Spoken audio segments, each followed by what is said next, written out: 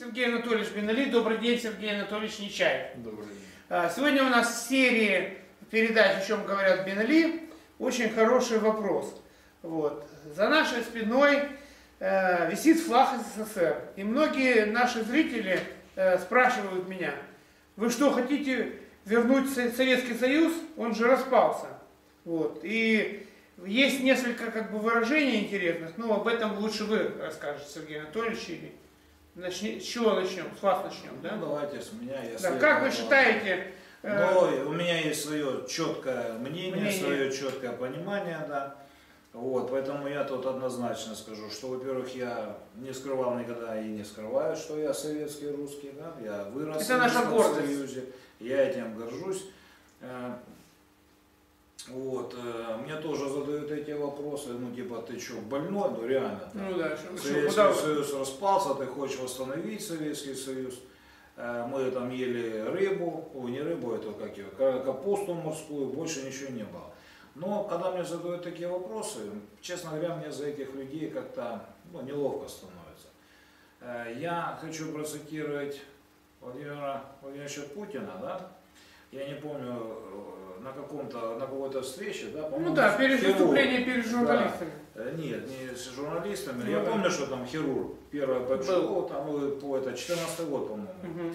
когда у нас, да. И он задал вопрос по Советскому Союзу, где Владимир Владимирович сказал, что те люди, которые не сожалеют э, о распаде Советского Союза, у них нет сердца. А те, кто хотят восстановить его в прежнем варианте, ну как У них нет разума. нет разума, да. Да, Поэтому да. я тоже говорю, ребята, э, Советский Союз это то, чем мы можем сегодня гордиться. Я имею право так говорить, это мое личное мнение, я еще раз подчеркиваю, потому что я не выезжая из Севастополя за свои 60 лет, не полных, там мне чуть-чуть Мгм. осталось, живу в третьем государстве, я имею право сравнивать.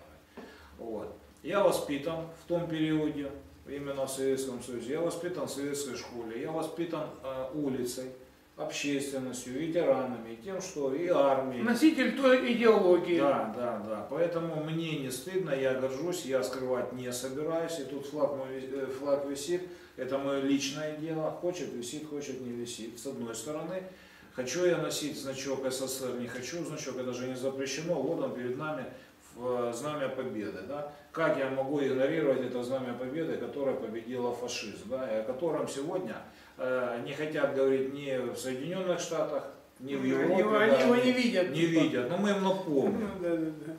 Вот дальше относительно э, Советского Союза, мы его с вами повесили целенаправленно, Павел Евгеньевич, это связано э, со спецоперацией, которая сегодня происходит в Украине, да, и мы этим флагом показываем то, что э, многонациональный народ России, многонациональный народ Украины и весь многонациональный народ Советского Союза, хотя говорят постсоветского, но я не хочу говорить постсоветского Союза, мы все один единый народ, который победил фашизм, именно сплотившись.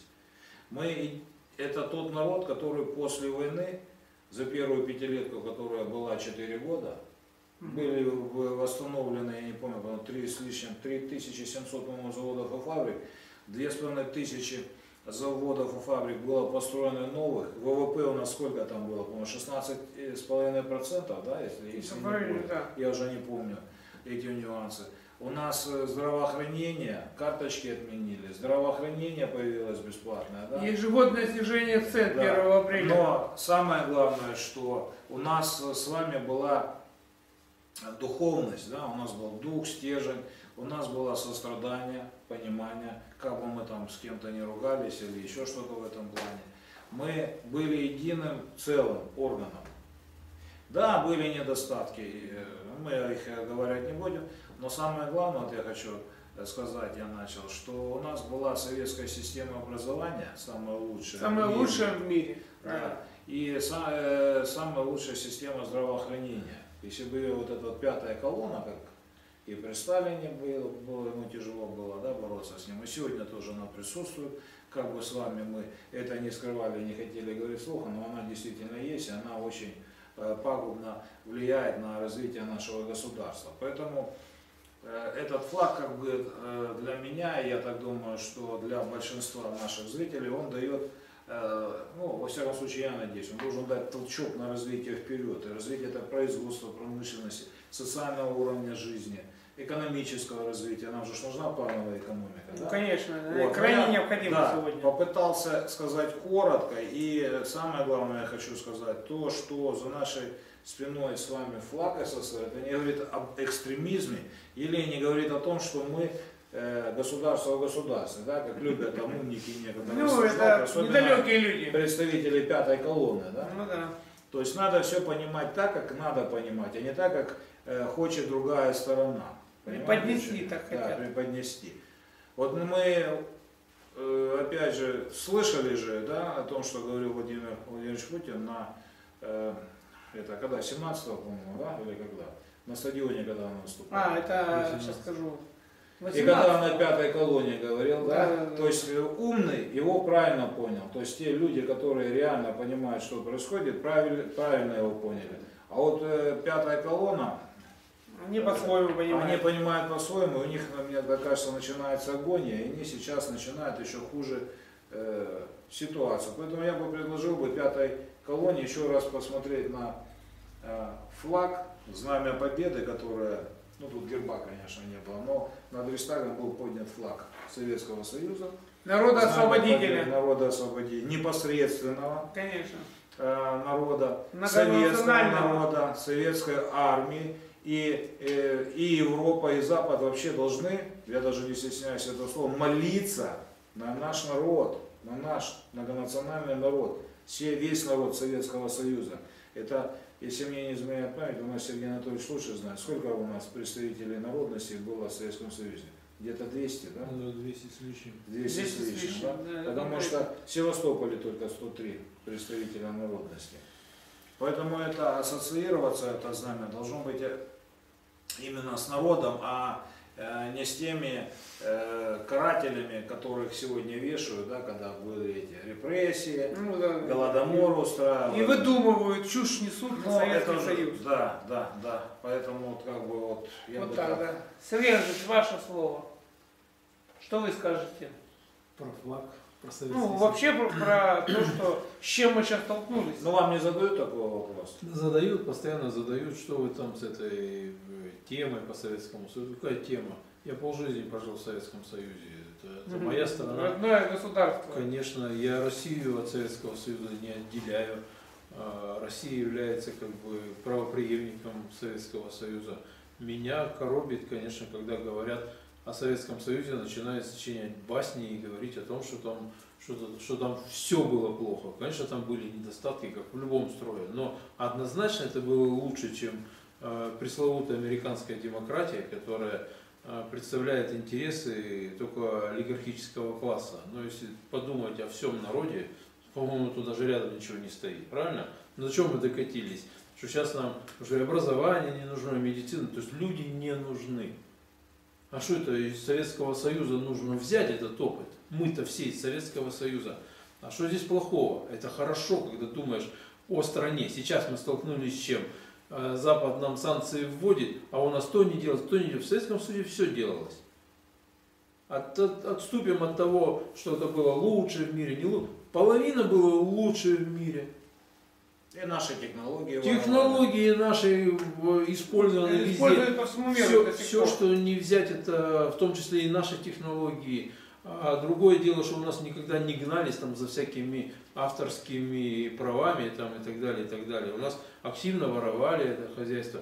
Было, все это было. Ничего страшного, если это на благо человека, почему нет? Вот. А сейчас у нас а, идет такая тенденция, что нужно охаять, что там все было плохо. И самое противное, что они настраивают на это целое поколение. Вы посмотрите, Новое поколение. посмотрите, как в Украине они какой ненавистью относятся к русским. За что? Ну да. Ну что, что у нас одна общая история, одни и те же люди, и почему такое отношение, что там москали, там кацапы, и там что только не собирают. А в истории масса вот этих вот примеров, которые можно сказать, что мы там рука об руку делали такие вещи, которым нам завидовал весь мир. Если взять эту и начать э, становление Советского Союза вообще в разрушенной стране, полностью ее вот этот западный блок разрушал со страшной силой во время гражданской. И, и как мы поднялись и стали великой страной.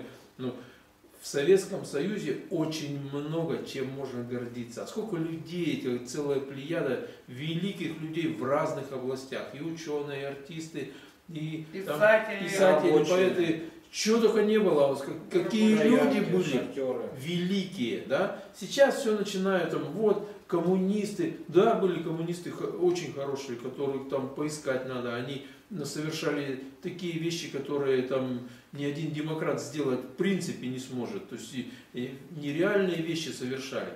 А, ну, это же не значит, что они сейчас такие же, как сейчас большинство коммунистов, правильно? Поэтому здесь говорить о том, что там Советский Союз это какое-то там сепаратистское движение или еще что-то такое, ну это глупость.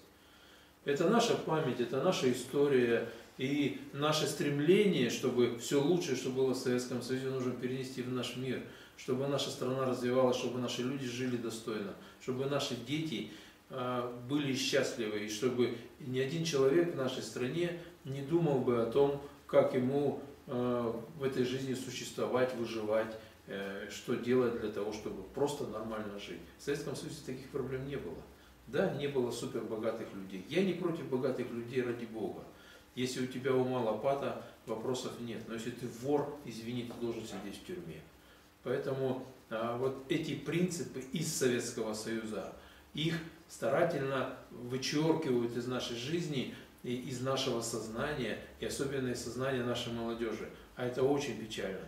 Наша молодежь должна знать и гордиться своим прошлым, и должна стремиться улучшать нашу жизнь, а не бороться с призраками и э, с теми, я, я считаю, глупыми мнениями Запада, которые начинают, восхваляя себя, принижать нас.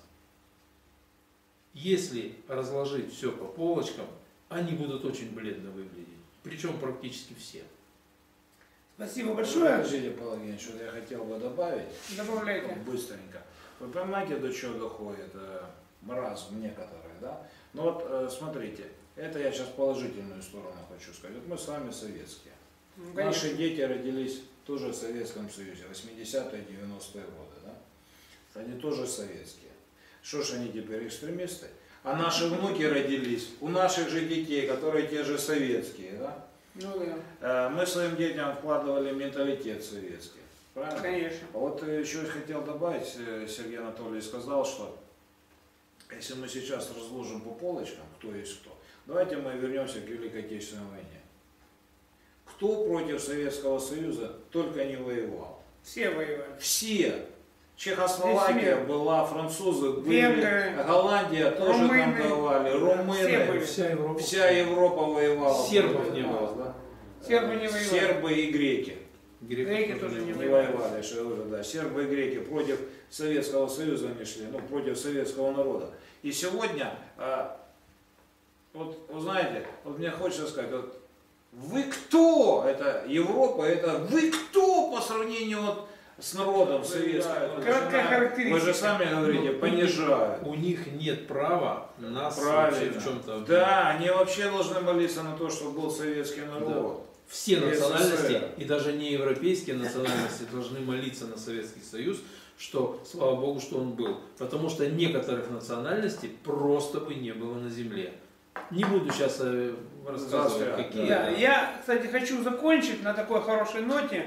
Мы находимся в преддверии великого праздника, когда в космос полетел первый человек, сделал виток, обогнул в космосе э, земной шар и спустился на Землю. На нем что, на шлеме что было написано? СССР. Америка Да. заявляет, что они первые. Да-да-да. правильно? 12 апреля великий праздник, который вот в 1961 году э, первый космонавт великой страны побывал в космосе. Не США, не Франции, не Англии, а СССР. И самое главное, СССР это социализм был.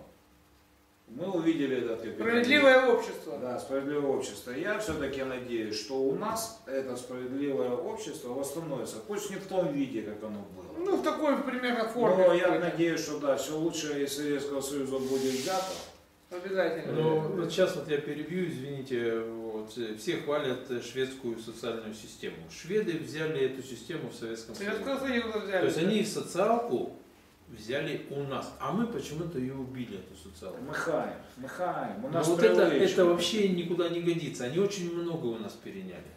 А нашим образованием они все завидовали. Весь мир завидовал нашему образованию. Они так и говорили, самые умные люди говорили. Почему русские добиваются таких успехов? Да потому что у них все, у, у них все люди образованные. Они все учатся.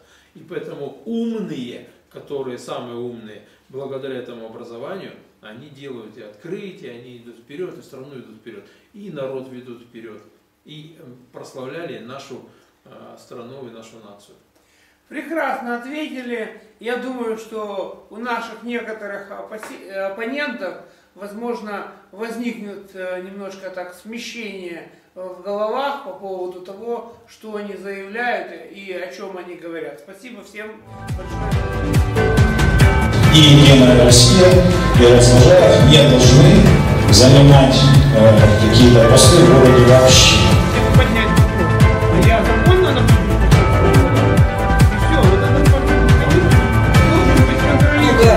Больше, чем в Севастополе принято. То есть у нас уменьшили, но все сделано для севастопольцев, никто же не спорит.